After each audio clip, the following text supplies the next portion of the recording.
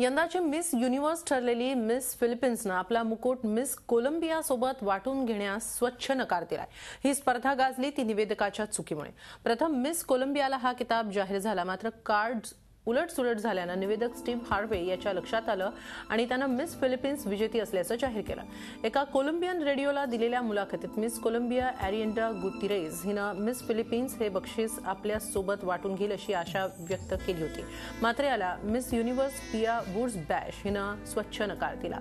एका मुकुटामध्ये दोन तरुणी मावतील असं वाटत नाही अशी खोचक प्रतिक्रिया मिस फिलिपिन्सनं दिली आहे. झी चोवीस तास. रहा एक पाऊल पुढे.